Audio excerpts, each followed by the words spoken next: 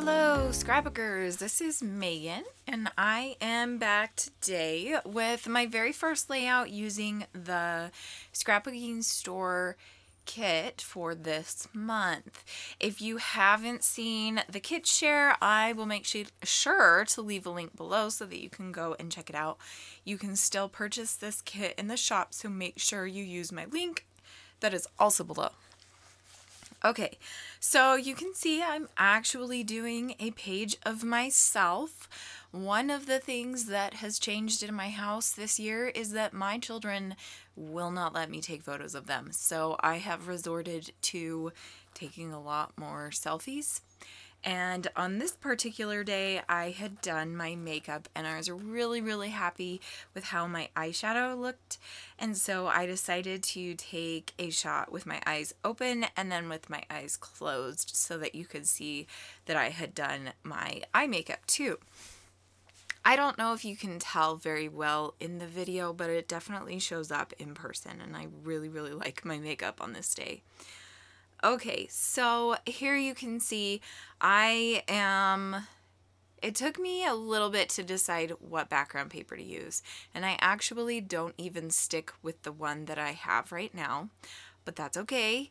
I am, here I am cutting out a, um, a mat for the photos and then here I'm going to put this pink paper behind the photos coming out of the sides of that big rainbow mat. So I really, really loved the rainbow paper, but I kind of felt like it was too much uh, to be a bigger part of the layout, if that makes sense.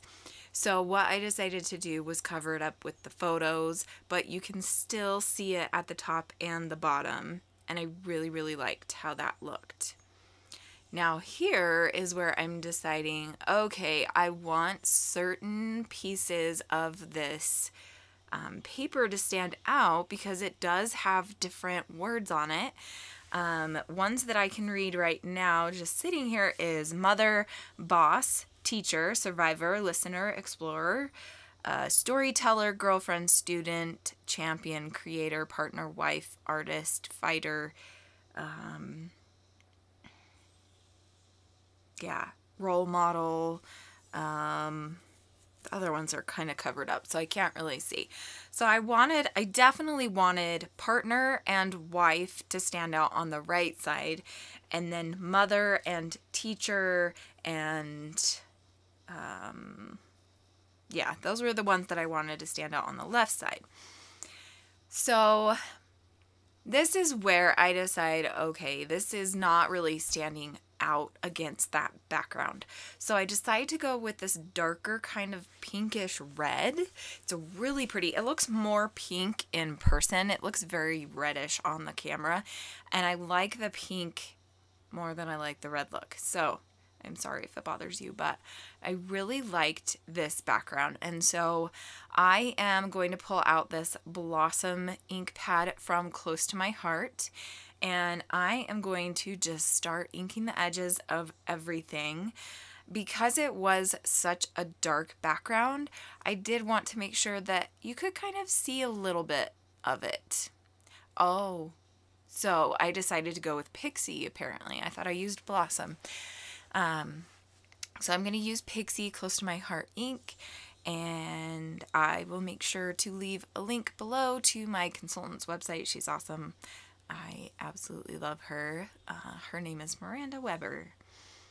I've thought about becoming a Close to My Heart consultant again, but it's just so much work to be a consultant because you have to keep up with your sales and I just don't have time to like advertise and do things and right now so it makes me sad because it would be awesome to be a consultant again but it's just a lot of work a lot more work than you would think. Okay so now like I said I'm just inking all of the edges and then I'm gonna glue everything down. I really liked those little tabs that I had in that top cluster. And then this is where I decided I really, really liked that rainbow paper. And so I didn't want to waste all of that part of it that was going to be in the middle that you wouldn't even see behind the photos. So I did decide to just cut the edges off and I'm going to use that here at the top and the bottom.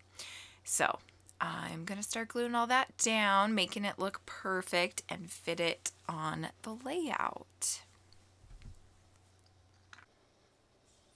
Okay, so now I have glued almost everything down. I'm just getting the photos on after all of the pattern papers. And